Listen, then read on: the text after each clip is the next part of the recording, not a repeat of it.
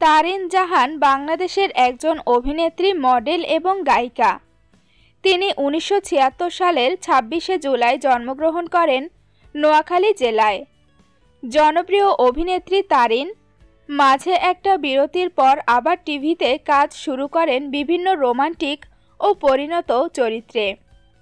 অভিনেত্রী হিসেবে পরিচালকদের কাছে অত্যন্ত নির্ভরশীল এই অভিনেত্রী নাটক প্রযোজনার সাথেও জড়িত।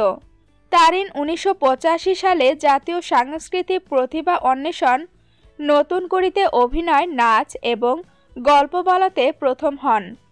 তখন থেকেই তিনি শিশুশিল্পী হিসেবে ছোট পর্দায় কাজ শুরু করেন। তিনি ওস্তাদ হাসান ইকরাম উল্লাহ এর কাছে শাস্ত্রীয় সঙ্গীতে তালিম নেন।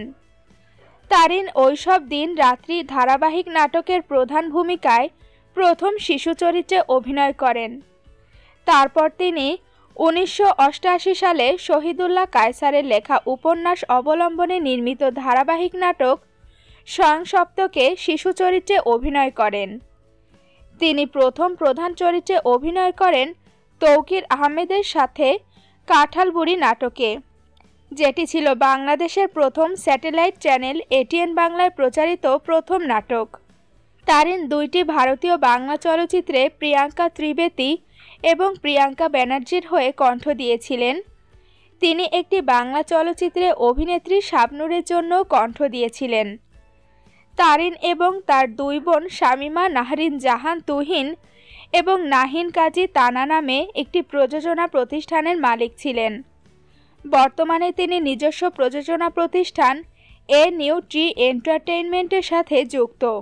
তারিন, পীড়িত রতন, পীড়িত ধন এবং কাজলের দিনরাত্রি সিনেমা দুইটিতে অভিনয় করেন।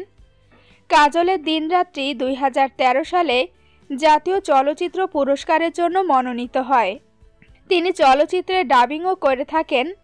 দুটি ছবিতে ভারতীয় শিল্পী প্রিয়াঙ্কা ত্রিবেদী আর প্রিয়াঙ্কা ব্যানার্জির হয়ে কণ্ঠ দিয়েছেন তিনি। একটি ছবিতে শাবনুরের কণ্ঠ দিয়েছেন তারিন মেরিল প্রথম আলো সমালোচক পুরস্কার পেয়েছেন। টেলিছবির নাম সবুজ ভেলভেট। এর আগে তিনি মেরিল প্রথম আলো পুরস্কার পেয়েছেন আরও দুইবার। দুই হাজার ছয় সালে কথা ছিল অন্যরকম টেলিছবি আর দুই হাজার সাত সালে তার একক অভিনীত নাটক মায়ার জন্য।